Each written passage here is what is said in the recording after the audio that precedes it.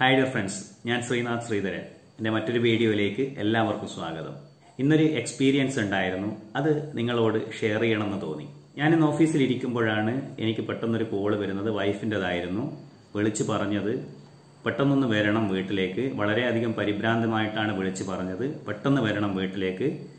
മോനുണ്ട് പൂച്ച പ്രസവിച്ചിട്ടുണ്ടായിരുന്നു. അതിന്റെ കുട്ടിയെ ഏകദേശം ഒരു മാസം കഴിഞ്ഞു. കുട്ടിയെ പോയി പിടിച്ചിട്ടുണ്ട്. അപ്പോൾ അവന് മാന്തിയിട്ടുണ്ട്. കയ്യിൽ നിന്നൊക്കെ ചോര വരുന്നുണ്ട്. വീട്ടിലെത്തി. വീട്ടിലെത്തിയപ്പോൾ മോനോട് ഞാൻ ചോദിച്ചു എന്താ പറ്റിയെന്ന്? അപ്പോൾ അവൻ പറഞ്ഞൊരു വളരെ സങ്കടത്തോടെ അല്ലെങ്കിൽ അവൻ നിഷ്കളങ്കമായി പറഞ്ഞൊരു കാര്യമുണ്ട്. ഞാൻ കയറിയ ഉടനെ അമ്മ പൂച്ച ഓടിപ്പോയി. ഏകദേശം പൂച്ച കുട്ടികൾ കുറച്ച് വലുതായിട്ടുണ്ട്. ഒരു പൂച്ചയെ പിടിക്കാൻ നോക്കിയപ്പോൾ ആ പൂച്ചക്കുട്ടി ഓടിക്കളഞ്ഞു. രണ്ടാമത്തെ പൂച്ചക്കുട്ടി ഓടാൻ നോക്കുമ്പോൾ ഞാൻ അതിന്റെ വാലിൽ പിടിച്ചു. അതെന്നെ അപ്പോൾ ഉടനെ മാന്തി. ഞാൻ വേറൊന്നും ചെയ്തിട്ടില്ല. അതിനെ വാലിൽ പിടിച്ച് അതിനെ എടുക്കാൻ നോക്കിയിട്ടേ ഉള്ളൂ. അപ്പോൾ അവനെ നിഷ്കളങ്കമായി പറഞ്ഞതെങ്കിലും പറയുന്ന രീതി നമുക്കൊക്കെ എനിക്ക് ശരിക്കും പറഞ്ഞാൽ എന്റെ ടെൻഷനൊക്കെ അപ്പോൾ പോയി.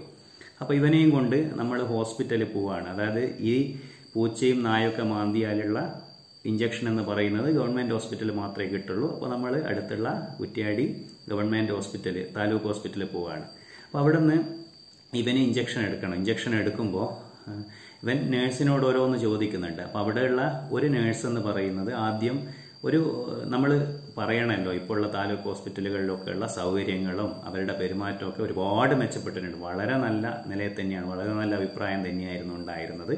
അപ്പോൾ അതിന്റെ ഒരു നേഴ്സ് ഇവനോട് ചോദിക്കുന്നുണ്ട്. ഇവനെ ഓരോന്ന് ചോദിക്കുന്നുണ്ട്. പേടിച്ചിട്ടാണ് ഇഞ്ചക്ഷൻ വെക്കുമ്പോൾ. ഇത് ചെറിയ കുട്ടിയാണ് മാന്തിയത്. ചെറിയ പൂച്ചയാണ് മാന്തിയത്. അതായത് ഇവന്റെ വിചാരം എന്താന്ന് പറഞ്ഞാൽ ചെറിയ പൂച്ചയാണ് മാന്തിയത് എന്ന് പറഞ്ഞാൽ ഇഞ്ചക്ഷൻ വെക്കില്ല എന്ന് ചെറിയ പൂച്ചയാണ് മാന്തിയത്. അപ്പോൾ ഈ നേഴ്സ് ഇവന് കൊടുക്കുന്ന ഒരു മറുപടി എന്താണെന്ന് വെച്ചാൽ പൂച്ച ചെറുതായാലും വലുതായാലും പൂച്ച പൂച്ച തന്നെയാണ്. അതായത് അത് അവർ അവർ എന്താന്ന് പറഞ്ഞാന്ന് പറഞ്ഞാൽ നമ്മൾ ഒരു ഗവൺമെന്റ് ഹോസ്പിറ്റലൊക്കെ ആകുമ്പോൾ നിന്ന് തിരിയാൻ നേരെയില്ലാത്ത രീതിയിൽ അവർക്ക് ജോലിയുണ്ട്. നല്ല തിരക്കാണ്. അപ്പോൾ അവരുടെ മനസ്സിൽ വരുന്ന മറുപടിയും അങ്ങനെ തന്നെയാണ്. അതിനകത്ത് നമുക്ക് അവരെ ഒരു രീതിയിലും കുറ്റം പറയാൻ പറ്റില്ല.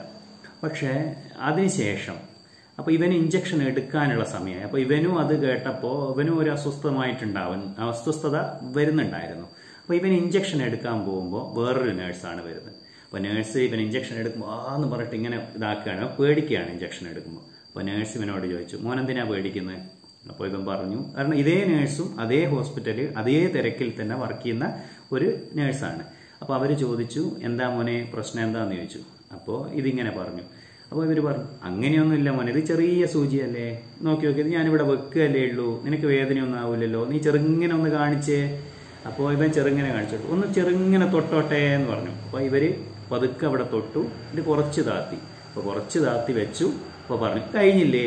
എന്തെങ്കിലും പറഞ്ഞോ? ഇനി അങ്ങോട്ടത്തെ കൈ ഒന്ന് കാണിച്ചേ. അപ്പോൾ ഇവൻ പതുക്കെ തന്നെ കൈ കാണിച്ചു കൊടുത്തു. അവരവിടെ ഇത് എന്താ പറയുക അവിടെ ഇഞ്ചക്ഷൻ വെച്ചു. അപ്പോൾ അതിനുശേഷം ഞാൻ അവരോട് ആദ്യമായിട്ട് എനിക്ക് അവരോട് അവർ കൊടുത്ത സർവീസ്. രണ്ടുപേരും ഒരേ നേഴ്സുമാരാണ്. ഒരാളെ കുറ്റം പറയുന്നതല്ല പക്ഷേ ഒരാൾ കൊടുത്ത സർവീസ് എക്സലന്റ് ആണ്.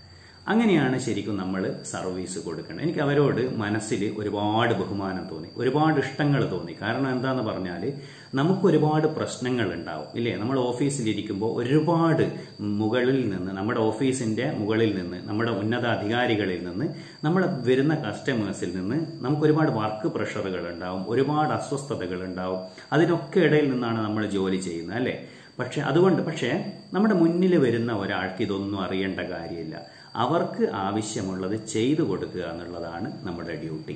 നമ്മളെ പ്രശ്നങ്ങളാണെന്ന് പറഞ്ഞ് നമ്മൾ മുന്നിലേക്ക് വരുന്ന ഒരാളെ അകറ്റി ഓടിക്കുക എന്ന് പറയുന്നത് ഒരു നല്ല രീതിയല്ല. നമ്മൾ നമ്മൾ എന്തവസ്ഥയിലായി കഴിഞ്ഞാലും നമ്മൾ ചിരിച്ചുകൊണ്ട് അതായത് മറച്ചു വെക്കണമെന്നല്ല ടെൻഷൻ മറച്ചു വെക്കണം എന്നല്ല മുന്നിൽ വരുന്ന ആളുകളോട് നല്ല രീതിയിൽ നമ്മൾ മനസ്സറിഞ്ഞ് സന്തോഷത്തോടെ നമ്മൾ സർവീസ് കൊടുക്കുമ്പോഴാണ് അതിന് മഹത്വം ഉണ്ടാവുന്നത്. നമ്മളെ തിരക്കുകളാണ് നമ്മളെ വലിയ കാര്യങ്ങളാണ് നമ്മുടെ പ്രശ്നങ്ങളാണ്.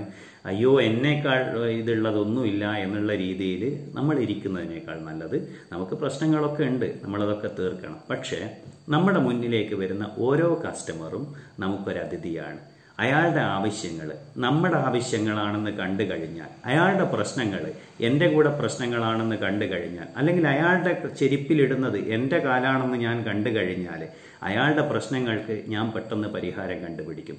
കാരണം എന്റെ പ്രശ്നങ്ങൾക്ക് എങ്ങനെയാണോ ഞാൻ പരിഹാരം കണ്ടുപിടിക്കുന്നത് അതേപോലെ ഞാൻ അയാളുടെ പ്രശ്നങ്ങളും കണ്ടുപിടിക്കും. അതിനുള്ള പ്രശ്നങ്ങൾക്കും ഞാൻ പരിഹാരം കണ്ടുപിടിക്കും.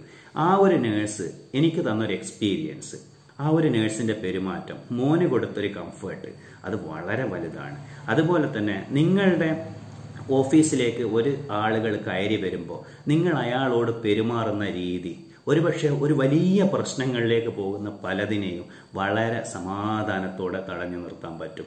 നിങ്ങളോട് ഒരുപക്ഷെ ഒരുപാട് അടിപിടിയായി പ്രശ്നങ്ങളായിട്ട് കസ്റ്റമേഴ്സ് പോകുന്ന പലതും നിങ്ങൾ ഒരുപക്ഷെ അവരോട് വളരെ സ്നേഹത്തോടെ ഉള്ള കാര്യം പറഞ്ഞു കഴിഞ്ഞാൽ നിങ്ങൾക്കെല്ലാം ചെയ്തു കൊടുക്കാനുള്ള സൂപ്പർമാൻ ആകാൻ നിങ്ങൾക്ക് പറ്റില്ല. പക്ഷെ നമുക്ക് ചെയ്തു കൊടുക്കാൻ പറ്റുന്നത് വളരെ സ്നേഹത്തോടെ ചെയ്തു കൊടുക്കുക.